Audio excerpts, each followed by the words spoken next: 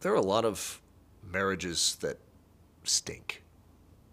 In fact, a shocking amount of marriages. I deal with so many people that are married. I, I happen to know that a lot of marriages stink.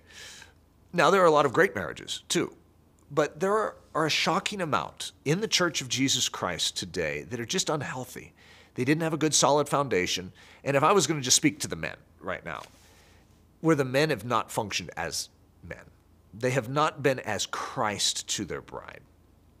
And as a result, it's it's left a, a, dizzying effect, a deteriorating effect upon that relationship. So here's here's the key thing I wanted to bring up. Is there hope?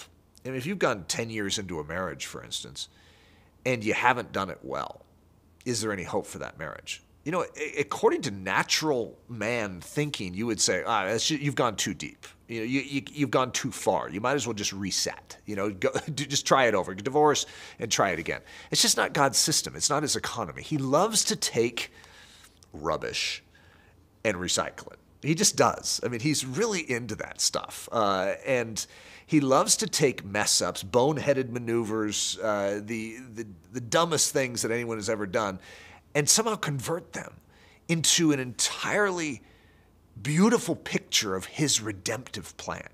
And so here's what I would say to anyone who's in that sort of suffocating uh, place where the enemy's whispering, you know, it's hopeless. There's no, no way you can get out of this. Defy it. Turn to Jesus Christ and say, God, you love rubbish. you love hopeless situations. So here's one. I guarantee you, he can turn it. Guarantee it. I know the power of my God. He loves to take situations just like that. And so, you know, my training on manhood is not just for fathers and sons, it's not just for older, wiser men that are like, oh, yes, that's good stuff. It's for every man that needs a fresh vision and a fresh hope of what he is here on earth for. Because the moment a man sees it, watch out, world, he becomes a lethal weapon. The moment a man recognizes the significance of his life, the importance of the way he's created, wow, game changer right there. And so marriages can change on a dime when a man sees that.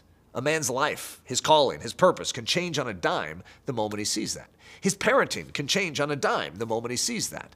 His leadership, his influence, his impact for the gospel can change on a dime the moment he sees why I'm here and how I'm supposed to live this life by the power of the Holy Spirit. It alters him and it changes his life. There's always hope. There's always good news in the kingdom of heaven. If you'd like to take these ideas deeper, join me for an eight week course on honorable manhood.